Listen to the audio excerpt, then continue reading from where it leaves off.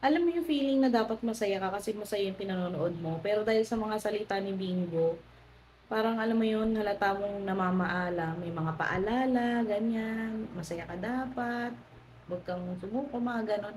Alam mo na na nagpaparamdam na siya na may hint na talaga na yun nga kasi nga may sakit siya 'di ba, spoiler, meron siyang brain tumor. And sa totoo lang awang-awa na ako kay Bingo.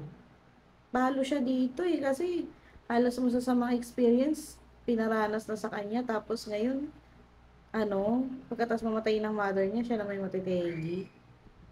Bigyan niya naman ng ano, hustisya yung karakter ni ano, Bingo, ano ba 'yan?